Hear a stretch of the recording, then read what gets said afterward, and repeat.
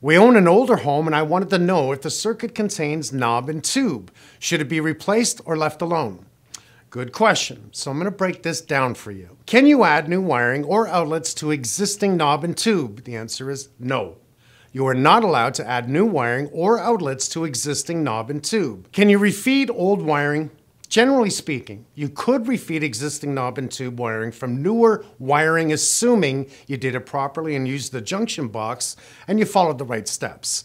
Technically, yes, it's allowed, but I do not recommend doing it. This is an ungrounded system and is something you want to consider upgrading to reduce the risk of an electrical fire or even a shock. If you live in Ontario, get in touch with ESA. Pull any previous permits filed for your home to check the work that has already been done. You should also call a licensed electrical contracting business to assess your system. They'll tell you if the upgrades were done correctly.